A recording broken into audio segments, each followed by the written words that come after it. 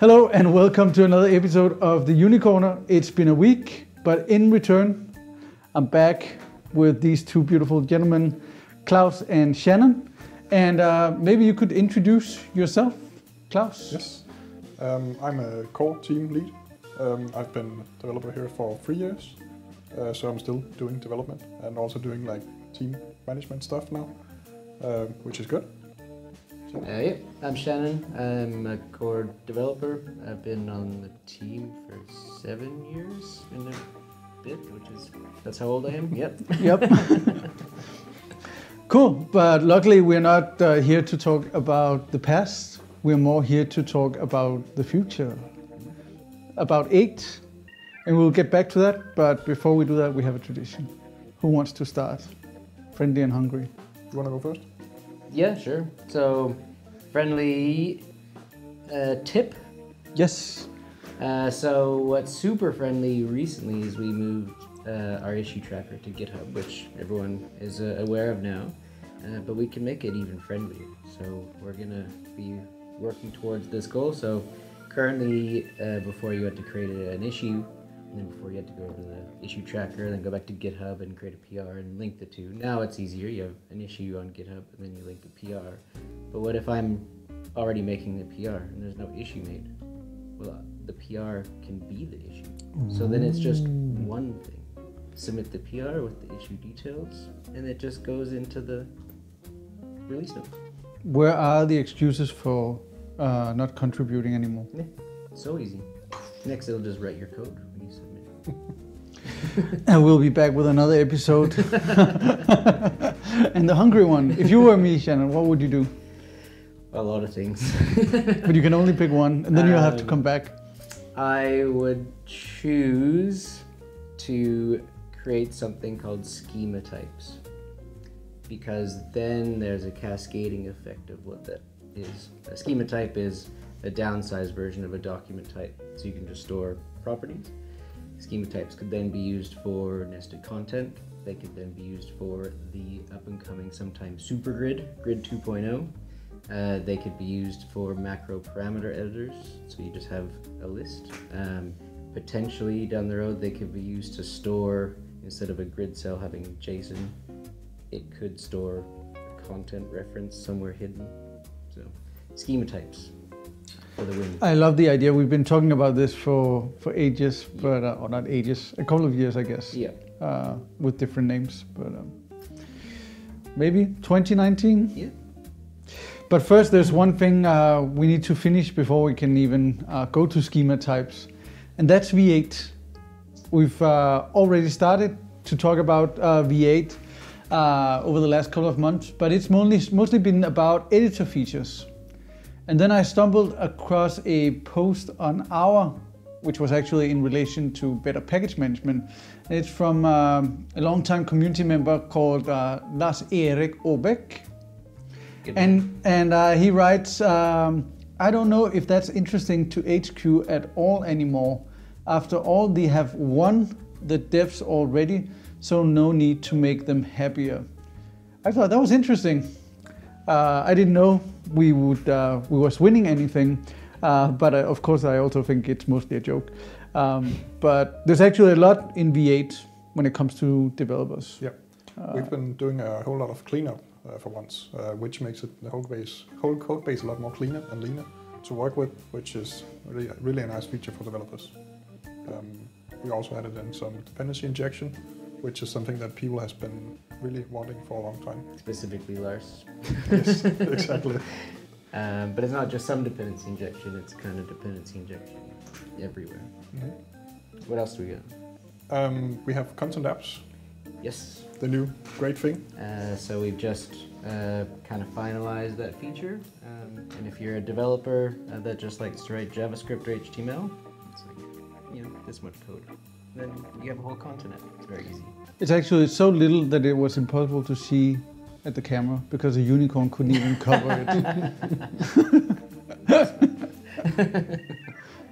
Uh, what else do we got? no, but it's true. And by the way, uh, content apps, it's it's not only JavaScript code. You can also, of Yeah. course, write Yeah. services, backend services, if you like to. and you can even define them in C Sharp if you chose to. Yeah, no problem. Um, with dependency injection, uh, that just means things are easily unit testable.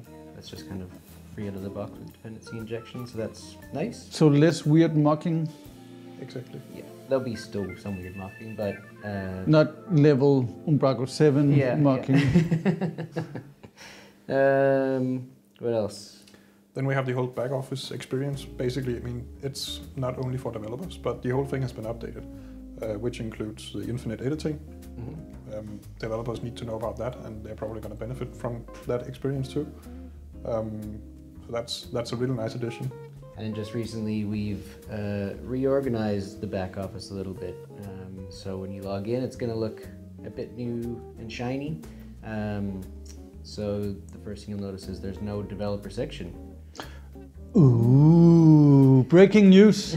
I don't have a breaking news button, uh, but we should have a breaking news button. Um, In post production.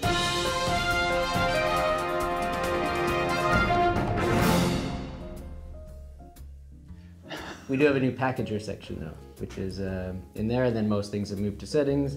And some of those annoyances that we had, where you know people that have access to edit members could also edit the member types, so you can no longer do that. Sweet. Um, Another big thing that we are working towards in V8 and, and have improved a lot in V8 is that we're basically trying to make it more simple to do things. Uh, like we have one approach to doing things. Um, we're really working towards that. Uh, so instead of having different ways of doing it and then you have to figure out which one seems the better one, we are actually pushing you towards doing the right thing. So an example of that is like model.get property value, uh, HTML.field. Uh, I don't know. There's probably ten different ways to do that, Yeah, plus models builder and then Yes. dynamics and and dynamics. Yeah. Yep. Uh, yeah, so that's a that's a good one. Uh, examine 1.0 is going to be featured in there as well. So turns out there wasn't a 1.0. Wow. Yeah, it was always point something. So it's going to make its debut as 1.0. So there's going to be an 8.0 with a 1.0. Yeah, yeah, Yeah. that's cool. Uh, there's not, I mean, there's a lot of underlying plumbing changes, but to use it is just much nicer. There's nicer APIs. You can create indexes code first if you want, or config, up to you. It's just nicer. And it runs the newer Lucene. That's Nice. And speaking of dependencies in, in general, I mean, Yeah, there's a lot of dependencies in Umbraco, and for 8, we could finally update. Uh, and remove some Yeah. of them. Yeah. Yes. Uh, V8 is a new major, so we have basically been able to remove a lot of the dependencies that we didn't really need but would be considered breaking changes beforehand. Uh, so we've been doing a lot of cleanup in that regard too. Yeah. And this also means we can move past some of the versions that we're stuck on. Um, I know a big one is like AutoMapper. Um, in newer versions, it's you know, way, way faster. Well, now we get to use it. But we're the only ones using the slow version of, actually, the slowest version of AutoMapper. so unfortunately, that's going to stop now. Yep. it's just going to have to be fast. We'll have to live with that. yeah. I actually find it very cool that despite so many uh, changes uh, to uh, to Umbraco, you, you can still, or maybe for the first time really, clone the Umbraco 8 branch and just hit F5. Yes. Yep. And it actually just works. And it's not a four-digit warnings in uh, the output window. hmm Yeah, that's it's actually quite quite Yep. small. So in terms of uh, uh, weight, is it is it lighter or is it uh, how much code has been added or is there less code in 8? There is substantially less code in 8. Um, a great example uh, is Elitza, who's working as an intern for us. Um, she was given a cleanup task yesterday, which was a very, a very small cleanup task, but that small cleanup task allowed us to reduce 6,000 lines of code. What? Yeah, that's crazy, right? And it was actually quite a small task. Now we've done much larger tasks, so you can imagine how much code's actually been been removed. It's quite nice.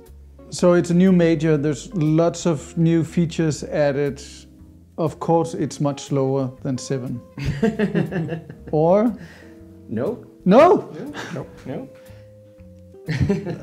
So far, uh, the results we've, we've been seeing from uh, some initial benchmarks, it, it seems like it's in most cases for the read performance uh, three to four times faster than the old one. So that's, That's a lot. That's like Yeah. 300 to 400 percent, Exactly. or greater than any other CMS I've ever seen. It's pretty good results.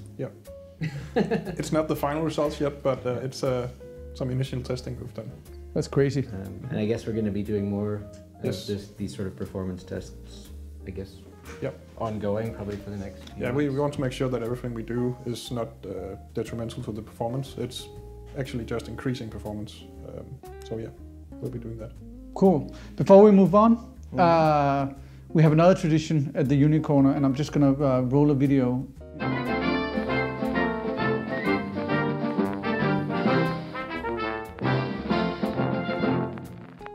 It's of course our messy basement, full of weird things, and apparently you went down there and found something. Could you grab me that uh, little model train?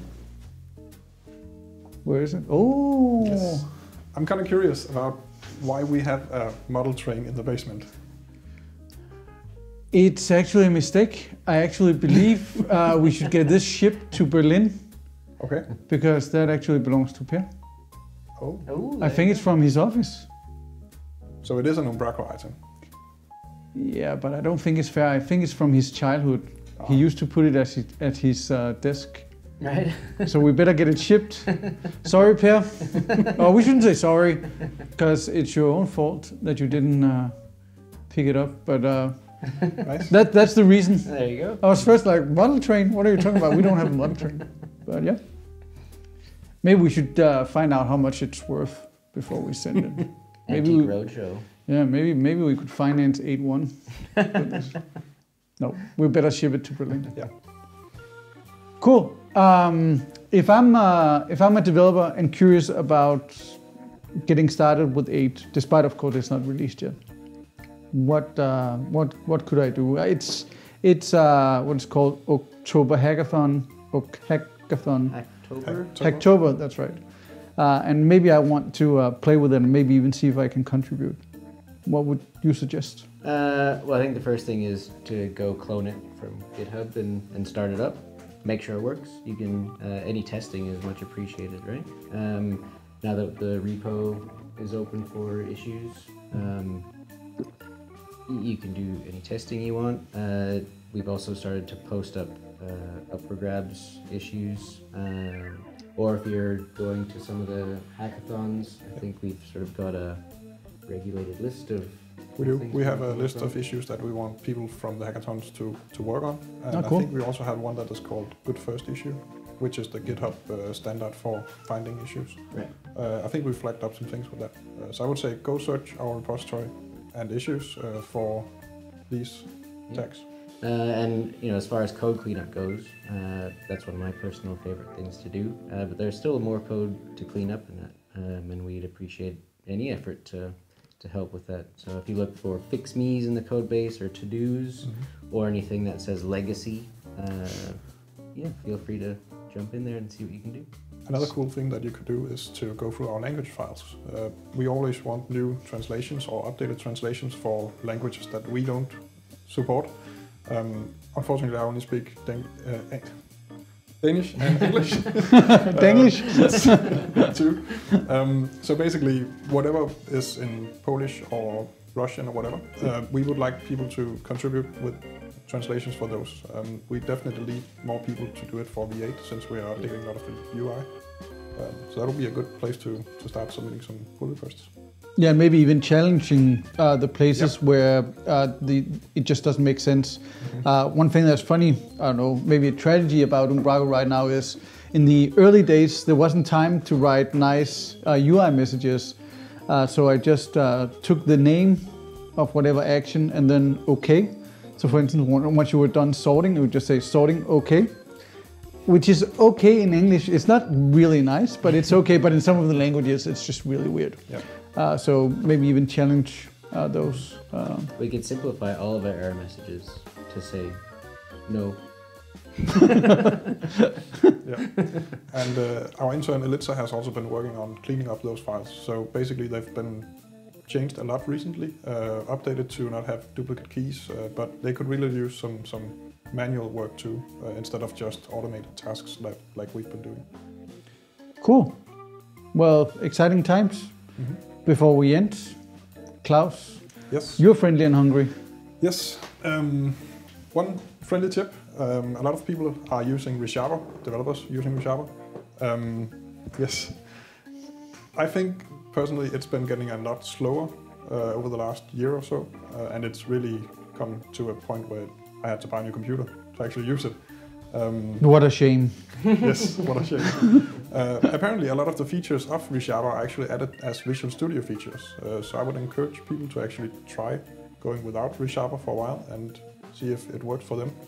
Um, I'm missing a few features, uh, which is still keeping me on ReSharper, but I was kind of surprised to hear, hear that a lot of the features are actually implemented in Visual Studio now. So if they actually implement the missing features, I could get your computer because it's pretty damn cool. I don't think so. I'll find an excuse. And the hungry part, I'd really like to see that we, at some point within near future, move uh, to running on uh, .NET Core. Um, I think that's something that the developers would really like to see. Uh, just us keeping up on technology and industry standards. Um, yeah, we're a little bit behind on that part. Uh, I think it's something we need to prioritize at some point. How long will it take? That's a good question. um, we've done some work on getting it moved to, to .NET Core, and I'm not really sure how much work is left. Uh, Just sprint or two. probably a little. bit. Cool. Well, and no matter what, uh, 2019 is going to be super exciting. It is. Uh, also for devs because we don't win anyone. We uh, work damn hard, and then we hopefully, hopefully, people can tell that. Um, and I think once we ship V8, people can will definitely be surprised about the amount of quality work that went into that release. Yeah. So thank you so much, guys, for uh, being on. And this has been another episode of uh, the Unicorner. Thank you to Claus and to Shannon. Uh, be sure to reach out on Twitter or in the comments and subscribe and like and all those things. And uh, I guess uh, we'll be seeing you at uh, festivals and at uh, at Codegardens and else Indeed. on the issue tracker. You bet. yep. Bye.